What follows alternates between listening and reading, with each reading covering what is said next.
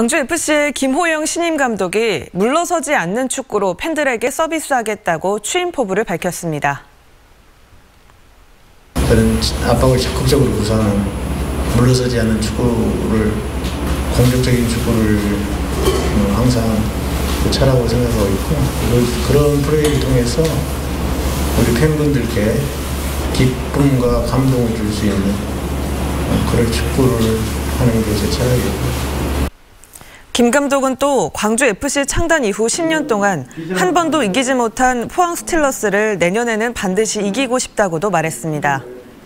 또 선수들과 처음으로 만나 팀 운영에 대한 구상을 밝히고 선수들의 적극적인 협력을 당부했습니다.